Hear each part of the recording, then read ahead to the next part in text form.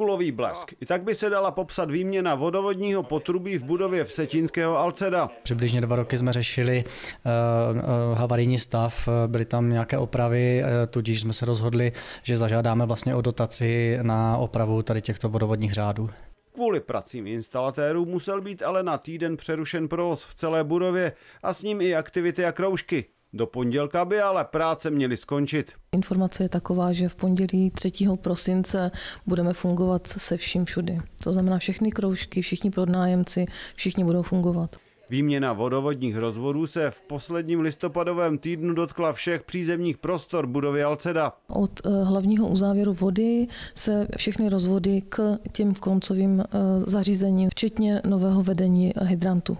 Budova Alceda by tak měla být i nově lépe chráněna z hlediska požární bezpečnosti a vyhnout by se jí mělo i popraskání rozvodu vody v budově.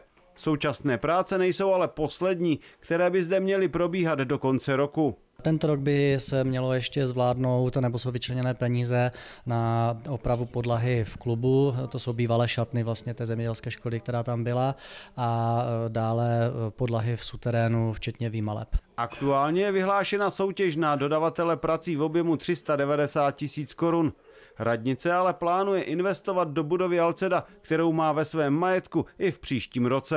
Návrhu rozpočtu na příští rok eh, je pro Alcedo vyčleněna částka na výměnu oken a poté eh, jsou tam vyčleněny prostředky na opravu a zateplení vlastně toho stupního eh, stupní části a toho tubusu zatím proskleného, kde dochází nejvíce k úniku tepla a vlastně ekonomickým ztrátám.